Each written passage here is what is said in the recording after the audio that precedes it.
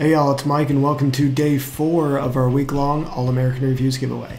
We are doing a giveaway every single day, Monday through Friday this week, giving away some awesome products from amazing brands that are made in the USA. All you have to do to enter is go to allamericanreviews.com slash giveaway and follow the instructions on the page. Today I'm excited to announce that we are giving away some custom monogram bath mats from Towels by Gus. On top of that, American Home USA is throwing in a Sky storage basket. Now, Towels by Gus is one of our favorite towel brands that is made in the USA.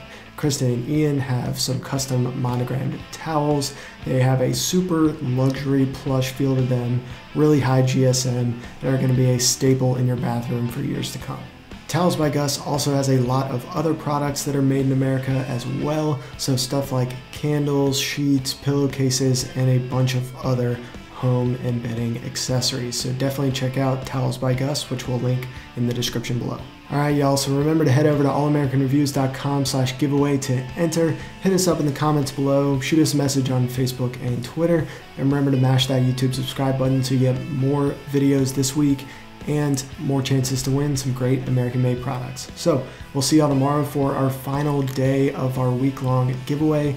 And as always, thanks for supporting your country and shopping American made.